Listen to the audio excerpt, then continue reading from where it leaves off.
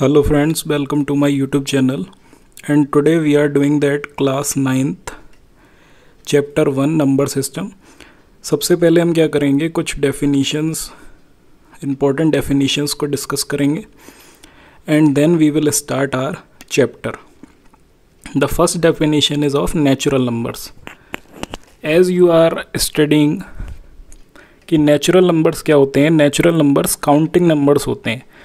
जैसे हमें किन्हीं भी चीज़, चीज़ें हैं, उनको क्या करना है? काउंट करना है। तो हम वन से स्टार्ट करेंगे। पहले one two three four five six ऐसे करके हम क्या करते हैं? काउंटिंग करते हैं। तो जो भी काउंटिंग नंबर्स होते हैं, उनको नेचुरल नंबर्स कहा जाता है। Means we will start count natural numbers from one one two three four five six so counting numbers are called natural numbers now come to the whole numbers तो when भी include zero with natural numbers then they are called whole numbers तो जब natural numbers में zero आ जाता है zero add हो जाता है, तब क्या बनते हैं? होल नंबर्स बनते हैं।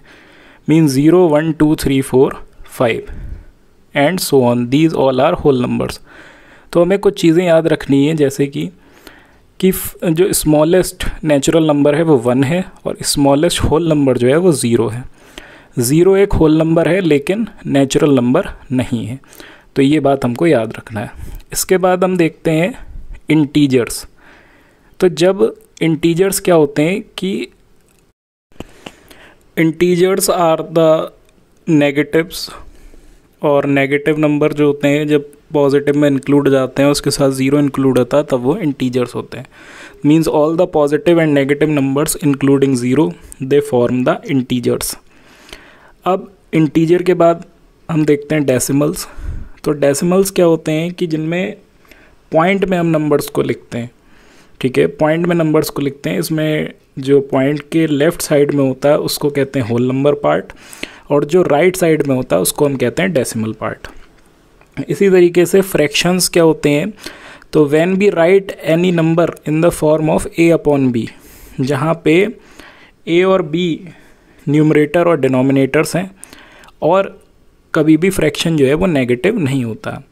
Now the main thing we are going to study in this chapter is rational numbers तो रेशनल नंबर्स क्या होते हैं कि जितना भी अभी हमने सारे नंबर्स पढ़े, ये सब मिला के रेशनल नंबर बनते हैं। और any number which can be written in the form of p upon q where q is not equals to zero these are called rational numbers तो जिन भी नंबर्स को हम पी अपॉन क्यू फॉर्म में लिख सकते हैं, वो सारे के सारे रेशनल नंबर्स होते हैं और जिनको हम पी अपॉन क्यू की फॉर्म में नहीं लिख सकते, वो इरेशनल नंबर्स होते हैं। तो ये याद रखना है इरेशनल नंबर को हम और डिटेल में नेक्स्ट वीडियो में पढ़ेंगे। पहले हमें रेशनल नंबर्स को अच्छे से पढ़ना होगा। किन्हीं भी दो नंबर्स के बीच में इनफाइनाइट रेशनल नंबर्स होते हैं, कि मान लो मैंने पूछ लिया थ्री और फोर के बीच में कितने रेशनल नंबर्स हैं तो infinite means unlimited numbers number of rational numbers हम फाइंड कर सकते हैं। Now come to the exercise now this is exercise 1.1 of N C R T class ninth now question number one is zero a rational number can you write it in the form of p upon q where p and q are integers and q is not equals to zero तो क्या zero एक rational number है? क्या हम इसको P upon Q form में लिख सकते हैं? जहाँ पे पी और क्यू क्या है? इंटीजर्स हैं और क्यू जो है वो ज़ीरो के इक्वल नहीं होना चाहिए। Now let's see the answer so our answer will be yes we can write zero as as a rational number तो हमारा आंसर होना चाहिए yes zero is a rational number. 0 is a 0 is a rational number. Now, can you write it in the form of p upon q? तो zero को हम किस form में लिख सकते हैं? ज़ीरो को हम ज़ीरो अपॉन वन भी लिख सकते हैं। ज़ीरो अपॉन टू भी लिख सकते हैं। ज़ीरो अपॉन थ्री भी लिख सकते हैं। ठीक है? ज़ीरो को हम zero upon one zero upon two zero upon three सारे ही फॉर्म में लिख सकते हैं। So this is the correct answer for this now see the next question now this is question number two find six rational numbers between three and four तो three और four के बीच में हमें सिक्स रेशनल नंबर्स फाइंड करने हैं। So let's see how to find it now let's start solving. तो यहाँ पे हमें सिक्स रेशनल नंबर्स थ्री और फोर के बीच में निकालने हैं। तो सबसे पहले वन साइड में थ्री लिखेंगे लेफ़्ट साइड में। और राइट साइड में फोर लिखेंगे।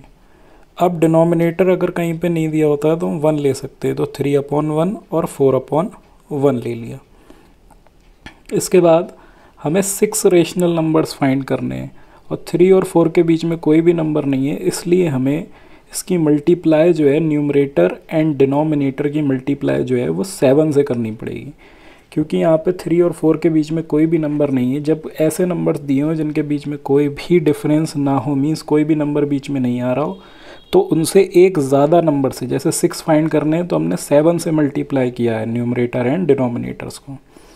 Now write three upon one three multiply seven one multiply seven क्योंकि न्यूमरेटर और डिनोमिनेटर दोनों में ही मल्टीप्लाई करेंगे, तब वैल्यू जो है वो, उसकी जो वैल्यू है वो चेंज नहीं होती है।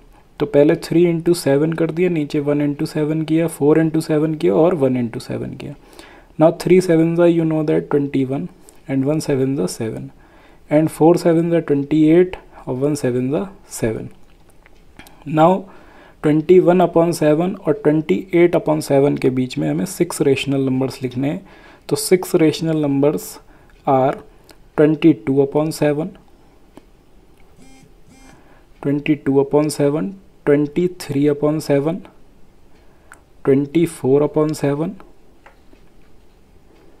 25 upon 7 26 upon 7 and 27 upon 7 now that's all. Now this is question number 3 find 5 rational numbers between 3 upon 5 and 4 upon 5 तो यहाँ पे हमें फाइव रेशनल नंबर्स फाइंड करने हैं थ्री अपॉन फाइव और फोर अपॉन फाइव के बीच में। Now let's solve it we are solving that question number three five rational numbers between three upon five and four upon five so first of all, on the left side, we will write 3 upon 5 on the right side 4 upon 5 और three और five के बीच में कोई भी difference नहीं है means कोई भी नंबर बीच में नहीं है, जिसकी वजह से हमें फाइव नंबर्स निकालने तो हम इसकी मल्टीप्लाई सिक्स से करेंगे, जैसे पीछे क्वेश्चन में हमने किया था।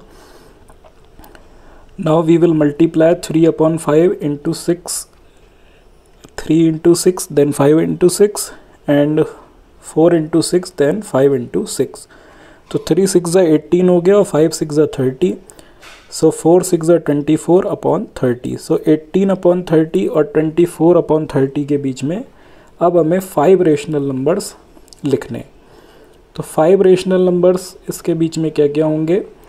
सबसे पहला होगा nineteen nineteen upon thirty next होगा ट्वेंटी अपॉन थर्टी नेक्स्ट होगा twenty one upon thirty after that twenty two upon thirty and after that twenty three upon thirty अब ये जो रेशनल नंबर्स आए हैं, इनमें सिंपलेस्ट फॉर्म में नहीं है ये। कुछ नंबर सिंपलेस्ट फॉर्म में नहीं है तो इनको कट कर देंगे, जैसे ट्वेंटी अपॉन थर्टी में कट हो जाएगा ट्वेंटी वन और थर्टी ट्वेंटी सेवन पर टेन हो जाएगा ट्वेंटी टू और थर्टी तो 11 अपॉन 15 हो जाएगा। Now we can write them in the simplest form 19 upon 30 2 upon 30 7 upon 10 11 upon 15 and 23 upon thirty ना this is question number four state whether the following statements are true और false now state true and false question number one every natural number is a whole number तो इसका answer होगा true क्योंकि जो natural numbers होते हैं वो one two three four और सो ऑन और होल नंबर्स जो होते हैं वो zero one two three four होते हैं। होल नंबर्स जो हैं वो नेचुरल नंबर्स और ज़ीरो को मिला के बनते हैं। तो इसलिए जो भी नेचुरल नंबर्स होंगे वो सारे के सारे होल नंबर्स होंगे। So I have written the reason also now question now question number second every integer is a whole number this is false because integer में नेगेटिव टर्म्स भी होते हैं और होल नंबर में नेगेटिव टर्म्स नहीं होते whole number zero से start होते हैं और वन टू थ्री फोर सारे पॉजिटिव होते हैं, जबकि इंटीजर्स पॉजिटिव और नेगेटिव दोनों होते हैं। इसलिए इसका आंसर फॉल्स होगा।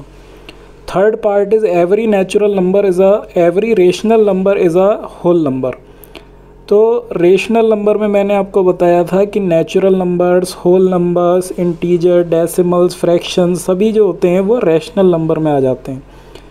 तो हम नहीं कह सकते कि रेशनल नंबर सारे के सारे होल नंबर होते हैं। जैसे वन अपॉइंट टू क्या है? एक रेशनल नंबर है, लेकिन होल नंबर नहीं है। माइनस थ्री क्या है? इंटीजर है रेशनल नंबर है, लेकिन होल नंबर नहीं है। So these answers are sufficient for you अगर वीडियो को आपको प, वीडियो आपको पसंद आई है तो इसको ज़्यादा से ज़्यादा शेयर करें अपने फ्रेंड्स के साथ और वीडियो को लाइक करें। कोई भी प्रॉब्लम आ रही तो उसको कमेंट में बताएँ और ज़्यादा से ज़्यादा जो भी हेल्प होगी उसको प्रोवाइड